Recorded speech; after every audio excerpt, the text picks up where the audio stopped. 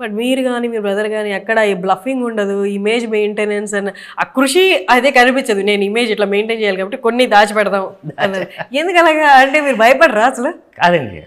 నాకు తెలిసి film industry మీరు నాకు పొలిటీషియన్స్ వీళ్ళందరూ పబ్లిక్ మనం దాచినా అందరికీ తెలిసిన ఓపెన్ సీక్రెట్ ఇది. మనం ఏం దాచినా ఇటు దాస్తున్నాడు అని అర్థం అవుతూ ఉంటుంది. ఓకే ఆడియన్స్కి తెలుసు. బట్ మనం చెప్పే విధానం కూడా పట్టేస్తారు. అంతే అండి. బేసిక్గా అదే అన్న మీరు అన్నట్టు ఏది ఉందో అది అసలు ఉంటుంది. ఒక వర కొంతవరకు మీ అన్నలే మీ కాన్ఫిడెన్స్ అని చెప్పొచ్చా? డెఫినెట్గా ఉంటుందండి.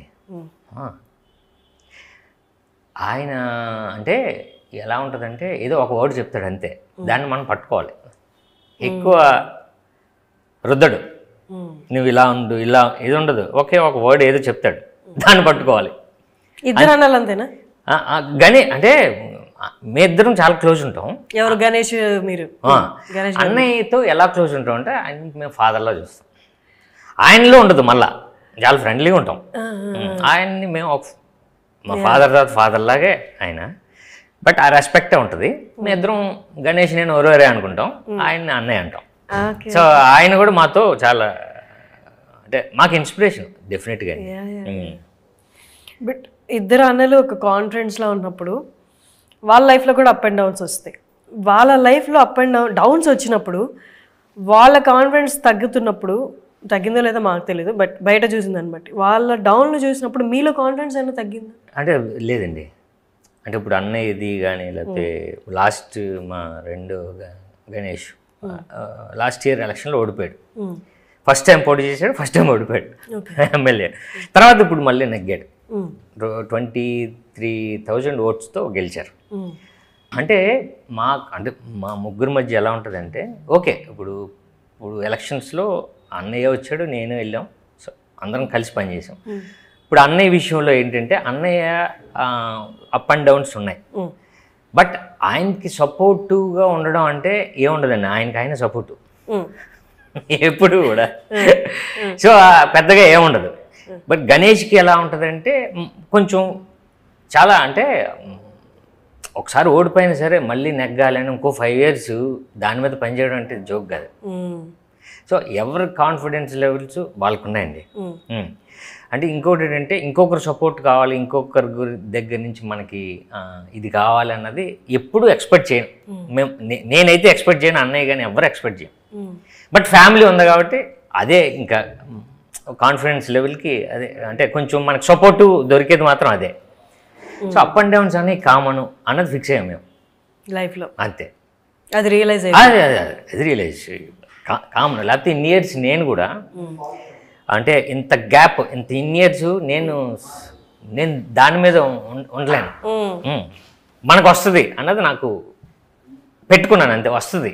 రాదని థాట్ ఉండదు. వస్తుంది. అది ఎప్పుడు అది అది ఎప్పుడు అన్నది కూడా వద్దు. వస్తుంది అంతే వస్తుంది. మనం పని చేద్దాం. అదే మేనిఫెస్టేషన్ అంతే కదండి. మనం పని చేద్దాం. పని చేయకపోతే రాదు కదా. మనం పని చేద్దాం వస్తుంది. ఓకే. మీ విషయంలో ఇందాక అడిగినట్టు ఎవరు నెక్స్ట్ ఏంటి అని అడుగుతున్నప్పుడు ఎలా మీరు కట్ చేశారు అలాగే లైగర్ విషయం వచ్చినప్పుడు ఆయన ఇన్స్పిరేషన్గా తీసుకున్న చాలామంది అప్కమింగ్ డైరెక్టర్స్ కానీ ఆల్రెడీ ఉన్న డైరెక్టర్స్ కానీ వాళ్ళందరూ ఫేస్బుక్కి వెళ్ళిపోయి డైరెక్ట్గా ఏమైంది నీకు? అన్న మాటలు అయితే మాట్లాడారు. అంటే చూసే వాళ్ళందరికీ కూడా ఆడియన్స్కి కొంచెం ఇబ్బందిగా అనిపించింది. ఓకే ఒక ఫ్లాప్ ఓకే ఫేస్బుక్ దాకా వచ్చేసి పబ్లిక్గా ఆయన ఇన్స్పైరింగ్గా తీసుకున్న వాళ్ళు ఇన్స్పిరేషన్గా తీసుకున్న వాళ్ళే ఎందుకు ఇంత ఎందుకు ఇలాగా ఎందుకు ఇలా అయిపోయావు అన్న క్వశ్చన్స్ వచ్చి అప్పుడు మీరు ఇంట్లోనే ఉంటారు కాబట్టి ఫ్యామిలీ కాబట్టి ఆయన ఎలా డీల్ చేశారు అసలు అవంతా ఒకసారి ఫ్లాప్ అయితే మళ్ళీ సినిమాతోటే ఆయన సమాధానం సమాధానం చెప్తారు ఎప్పుడు కూడా దీనికి ముందు ఇస్మార్ట్ శంకర్ కానీ దానికి ముందు టెంపర్ కానీ దానికి ముందు పోక్రి కానీ అవన్నీ ముందు పోక్రికి ముందన్నీ గ్యాప్ టెంపర్కి ముందు గ్యాప్. సో సినిమానే మళ్ళీ సినిమా మాట్లాడుతుంది. అప్పటి వరకు ఆయన మాట్లాడడం కానీ ఏది చేయరు. మళ్ళీ సినిమా రాసుకుంటారు మళ్ళీ సినిమా. సో సినిమాతోటే సమాధానం చెప్పగలండి ఇలా ఇప్పుడు నిజంగా ఫ్యాన్స్ అప్సెట్ అవుతారు. వాళ్ళకి ఏం సమాధానం చెప్తాం? మళ్ళీ సినిమానే సమాధానం చెప్పాలి. వాళ్ళు మళ్ళా వాళ్ళని హ్యాపీగా ఉంచాలంటే సినిమానే మాట్లాడాలి. మనం ఎంత మాట్లాడినా అది వేస్ట్. అందరికీ అంటే అవుట్ సైడ్ ఫిలిం ఇండస్ట్రీ వాళ్ళందరికీ ఏమనుకుంటారు అంటే యాక్టర్స్కి హీరోలకి ఎవరికైనా సినిమాలు ఉంటేనే డబ్బులు ఉంటాయి సినిమాలు అయినప్పుడు వాళ్ళకి డబ్బులు ఉండవు వాళ్ళు ఎవరో ఒకరిని అడుగుతారు. వాళ్ళ ఫ్యామిలీ మీద డిపెండ్ అవుతారు అని. మీరు మీ అన్న డబ్బులు అడిగారా? నే ఇప్పటికీ కూడా నాకు అన్నయ్య దగ్గర నుంచి సపోర్ట్ ఉంటుందండి. ఉంది. ఓకే. నాకు ఫ్యామిలీ సపోర్ట్ లేకపోతే అవ్వదు.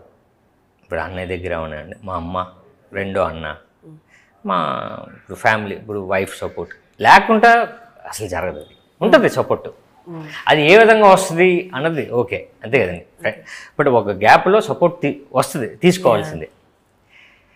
లేకపోతే ఇప్పుడు మనం ఇప్పుడు నేను ఏదో అనుకున్నాను కదండి దాంట్లో రీచ్ అవ్వాలని నేను. సో అది రీచ్ అవ్వాలంటే సపోర్ట్ తీసుకోవాల్సిందే. సో, ఉంటుంది ఉంది సపోర్ట్ ఉంది. మీరు అపార్ట్ ఫిలిం ఫిలిమ్స్ కాకుండా అపార్ట్ ఫ్రమ్ ఫిలిమ్స్ ఏమైనా చేస్తున్నారు? ఏది ఏది లేదండి ప్రజెంట్ ఫస్ట్ నేను అసలు ఇది ఫస్ట్ ఇది కొట్టాలి కొడదాం. ఫస్ట్ ఇది కొట్టిన తర్వాత మీరు అన్నట్టు ఒకటి చేయాలి. బట్ నార్మలీ ఇండస్ట్రీలో ఉన్న వాళ్ళు ఏదో ఒక స్టాండర్డ్ బిజినెస్ స్టార్ట్ చేస్తారు అలాంటి ఆలోచనలు ఉన్నాయా మీకు?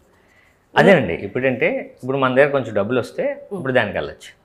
ఇప్పుడు దానికి వెళ్ళాం అనుకోండి ఈ పని ఆగిపోద్ది. ఓకే హండ్రెడ్ పర్సెంట్ మనం సేవ్ ఆ? ఇప్పుడు దాకా సేవ్ చేయలేదంటారా? వచ్చిన ఖర్చు వెళ్ళిపోతుంది ఇంకే. అదే అంటున్నాను. ఈ దగ్గర డబ్బులు ఉన్నాయా లేదా అనేది cinema industry open secret. Okay దీని ముందు సినిమా దీని ముందు సినిమా. దాన్ని బట్టి అర్థమైపోద్ది. ఎవరి దగ్గర ఎంత ఉంది ఎవరి దగ్గర ఏంటి అనేది తెలుస్తూ. అంతే కదండి. పొలిటీషియన్స్ మనం చెప్పలేం. ఏదో అట ఆ, ఇది అట ఆ, ఉంటుంది ఉంది అక్కడ అది. అనేది మనకి అది ప్రూవ్ అయితేనే చెప్పగలం తప్ప ఇది ప్రూవ్ అక్కర్లేదు. డైరెక్ట్ సినిమాలను బట్టి మనం చెప్పొచ్చు. ఎగ్జాక్ట్లీ అంతే కదా. మీతో మాట్లాడుతుంటే చాలా ఇంట్రెస్ట్ అంటే ఎవరు మాట్లాడరు ఇలాగా?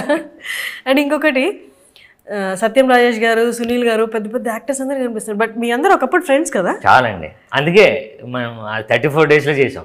ఓకే. చేయలేం. చేయలేమండి బట్ అందరూ అంటే మనం టెన్త్ తర్వాత ఇంటర్ ఇంటర్మీడియట్ తర్వాత డిగ్రీయో ఇంజనీరింగో అట్లా ఎలా అంచెలంచెలుగా ఎదుగుతారో మీరందరూ కూడా ఒక చిన్న ఆర్టిస్ట్గా అంటే అందరూ చిన్న చిన్న సినిమాలు చిన్న ఆర్టిస్ట్ తర్వాత హిట్ తర్వాత బిజియెస్ట్ ఆర్టిస్ట్. ఈ సైకిల్ అంతా మీరు మాట్లాడుకుంటారా కలిసినప్పుడు? డెఫినెట్గా అండి. ఇప్పుడు సునీల్ గారు కానీ సునీల్ గారు నేను చేస్తున్నప్పుడు ఆయన స్టార్. అప్పటికే ఆయన కమెడియన్గా పెద్ద స్టార్. ఆ తర్వాత ఆయన హీరో అయ్యి తర్వాత మళ్ళీ స్టార్ అయ్యారు. ఆ తర్వాత చిన్న గ్యాప్ అయినా సరే ఇప్పుడు మొత్తం ఇండియా అంతా తిరిగేస్తున్నారు అవును అవును. కదండి పుష్ప తర్వాత మొత్తం అసలు. సత్యం రాజేష్ భయ నేనేంటంటే నేను అసిస్టెంట్ డైరెక్టర్గా ఉన్నప్పటి నుంచి నాకు బాగా పరిచయం. మీరు అంటే బంపర్ ఆఫర్ సినిమాలో ఎందుకే రమణమ్మ? అంటే రమణమ్మ మా అమ్మ పేరు కదా? రమణమ్మ అన్న పేరు ఇచ్చింది సత్యం రాజేషే. అన్నయ్య అప్పుడు ఏదో పేరు అనుకున్నాడు. సీతక్కో సీతమ్మ ఏదో అనుకున్నాడు. "ఆ, లేదు సార్ మన ఉత్తర అటువైపు వైజాగ్లో రమణమ్మ ఎక్కువ పేరు ఉంటుంది అంటే రమణమ్మ మార్చారు. సో అప్పటి నుంచి ట్రావెలింగ్ సత్యం రాజేష్. అయితే అక్కడి నుంచే పుట్టింది ఆ పాట. ఎందుకే వర్డ్ మాత్రం ఆయన ఇచ్చింది. ర- రమణమ్మ నా అమ్మ పేరు రమణమ్మ మార్చు అనేది సత్యం రాజేష్ ఇచ్చారు. ఎక్కువ ఎవరితో హ్యాంగ్ అవుట్ అవుతూ ఉంటారు మీరు? నేనండి. ఇండస్ట్రీలో ఫ్రెండ్స్ ఉన్నారండి. అంటే ఇండస్ట్రీ ఫ్రెండ్స్ కాదు. నార్మల్ ఇండస్ట్రీలో ఇండస్ట్రీలో అంటే నేను నరేష్ గారు డేంజర్ నుంచి క్లోజ్ అయ్యాం. బట్ అలా అని చెప్పి రోజు వెళ్ళి కలడం కాదు రోజు ఫోన్ ఉండదు. బట్ ఏదైనా మెసేజ్ పెడితే పెట్టగలిగేది నరేష్ గారికి లేకపోతే శర్వా శర్వానంద్. శర్వా నేను సత్యానంద్ గారు బ్యాచ్మేట్స్ సో అంతే. తక్కువ. బట్ నాకు ఎక్కువ ఇండస్ట్రీకి సంబంధించి డైరెక్షన్ డిపార్ట్మెంట్ అంటే నేను అసిస్టెంట్ డైరెక్టర్ ఉన్నప్పటి నుంచి నాకు పరిచయం చాలామంది ఉన్నారు. వాళ్ళతో ఎక్కువ ఉంటాం. ఓకే. వాళ్ళు. అండ్ నేను ఇప్పుడు ఇంటర్వ్యూకి వస్తున్నానంటే మా టీం వాళ్ళని అడిగాను అనమాట మీ దగ్గర క్వశ్చన్స్ ఉంటే చెప్పండి అంటే. వాళ్ళ అంటే ఇద్దరు ముగ్గురు దగ్గర కామన్గా వచ్చిన క్వశ్చన్ ఏంటి అంటే శంకర్ గారు ఎప్పుడు వాళ్ళ పర్సనల్ లైఫ్ గురించి చెప్పలేదు అసలు మ్యారేజ్ గురించి కానీ చెప్పేస్తా. అయితే ఇంటర్వ్యూలో చెప్పరా? ఇద్దరు పిల్లలు నాకు. ఓకే ఇద్దరు ఇద్దరు ఆడపిల్లలు. ఇద్దరు స్కూల్ చదువుతున్నారు. వైఫ్ హౌస్ వైఫ్ ఓకే తను అనంతపూర్. ఓకే నైస్ నైస్ ఇంకేమైనా డీటెయిల్స్ కావాలంటే ఫోన్ చేసి చెప్పేస్తా చెప్పండి మీ ఊరికి వెళ్ళినప్పుడు అక్కడ మీ ముగ్గురు బ్రదర్స్ని అక్కడ ఎట్లా ఎలా చూస్తారా? ఆల్మోస్ట్ ముగ్గురు మనగాళ్ళ చూస్తారా? అందరూ తెలిసిన వాళ్ళు కదండి. ఇంకోటి ఏంటంటే ముగ్గురం కలిసి ఒకేసారి ఉన్నది ఒకటి రీసెంట్గానే చిన్న ఇంట్లో పూజ చేస్తే అప్పుడే అందరం ఒకేసారి కలిసింది అప్పుడే అండి. లేకపోతే అన్నయ్య ఏమో ఎక్- ఎప్పుడో వస్తారు నేను ఎప్పుడూ వెళ్తూ ఉంటాను. గణేష్ అక్కడే ఉంటాడు కానీ ఎవరో ఎవరో ఇద్దరం ఉంటాం. ఓకే ముగ్గురు కనిపించడం రేర్. రేర్. బట్ ఊళ్ళో నేనైతే మ్యాక్సిమం ఊళ్ళోనే ఉంటానండి. బట్ గణేష్ మా రెండో అన్నయ్య మాత్రం పక్కన టౌన్లో ఉంటాడు నర్సీపట్నం. నేనైతే మాత్రం ఊరికి వెళ్ళిపోతాను. ఊరి పేరు? కొత్తపల్లి. బీకేపల్లి అండి. బాపరాజు కొత్తపల్లి. సో మా అమ్మ ఏంటంటే గణేష్ దగ్గర కొన్ని రోజులు అక్కడేమో ఎక్కువ రోజులు ఉండదు. పెద్దోళ్ళు ఉండలేరు కదా. ఇక్కడికి వచ్చేస్తుంది. ఈ ఊళ్ళోనే ఉంటుంది. సో ఊళ్ళోన ఊళ్ళో మనల్ని ఎవరు ఆ వాతావరణం ఇష్టమా బాగా? చాలా ఇష్టం. పట్టించుకోరు. అంటే ఎప్పుడు తెలిసి చిన్నప్పటి నుంచి ఉంది కదా. సరదాగా ఉంటారు అంతా మాట్లాడుతూ ఉంటారు. కాముగానే ఉంటుంది ఏముండదు ఏంటి మీ ఊరికి వెళ్తే మీ అంటే దినచర్య ఎలా ఉంటది? శుభ్రంగా లుంగి కట్టుకొని. పొలంలోకి వెళ్తామండి. లేకపోతే ఊళ్ళోనే మీరు ఫార్మింగ్ చేస్తారా? నేనేం చేయను కదండి. బట్ బాగా ఇష్టం నాకు. దాని గురించి అవగాహన ఉంది చాలా అవగాహన ఉంది. అంటే మా ఫాదర్ బాగా అవగాహన. ఆ తర్వాత అన్నయ్యకి కుదరలేదు? అన్నయ్యకి ఇక్కడికి వచ్చాడు. మా రెండు అన్ని పాలిటిక్స్కి వెళ్ళిపోయాడు. బట్ నాకు ఫ్యూచర్ మాత్రం ఇప్పటికీ అంటే రోజు నా పిల్లలకు కూడా ఇప్పుడు చెప్తుంది ఏంటంటే నేనైతే ఈ ఫార్మింగ్కి ఫిక్స్ అయ్యాను వాళ్ళని. ఇద్దరిని కూడా ఇద్దరు అమ్మాయిలను కూడా. ఫార్మింగ్ ఇంకేమొద్దు. ఫ్యూచర్ అదే డెఫినెట్గా అండి. మనం ఎక్కడికెక్కడికి వెళ్తూ ఉంటాం కానీ రేపు ఫ్యూచర్ అదే. ఇంకోటి ఇప్పుడే స్టార్ట్ అయిపోయింది స్టార్ట్ అయింది ఏంటంటే సుఖంగా ఉంటుంది. దాంట్లో కష్టాలు ఉంటాయి నిజంగా రైతు అనేసరికి కష్టాలు ఉంటాయి మ్మ్. బట్ అందులో చాలా అంటే మనకి హెల్దీగా ఉంటామండి డెఫినెట్గా. ప్రశాంతంగా ప్రశాంతంగా ఉంటాం. మన మన- కళ్ళ ముందు పిల్లలు ఉంటారు వాళ్ళు బాగుంటారు. మ్మ్. ఇప్పుడు ఫార్మింగ్ అంటే ఫార్మింగ్ అంటే దానికి రిలేటెడ్ చాలా ఉన్నాయి కదా. ఇప్పుడు ఫిషరీస్ దాని కిందకి వస్తుంది. యా చాలా ఇండస్ట్రీ అది చాలా పెద్ద ఇండస్ట్రీ. మనం దాన్ని చాలా చిన్నగా చూస్తాం. మన పిల్లల్ని అదే ఇంజనీరింగ్ లేదా డిగ్రీ చాలా చాలా మంచిది అది. బట్ దానికన్నా పెద్ద ఇండస్ట్రీ దాంట్లో కూడా ఉంది కదా ఫార్మింగ్ కోర్సెస్ డిగ్రీ కోర్సెస్ ఉన్నాయి కదా. నేను ఇప్పుడు నేను రోజు అయితే మా పిల్లలకి ఇదే చెప్తున్నా. తెలియదు మరి మనకి. మన చేతుల్లో